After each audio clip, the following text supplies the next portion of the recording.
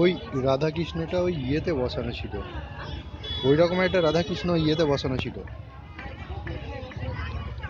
ওই ইয়ে মেলা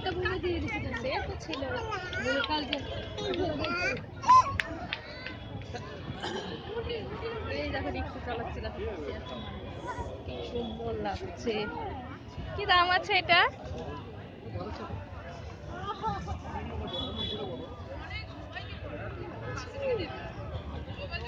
আরে এই পুতুলগুলো। পিস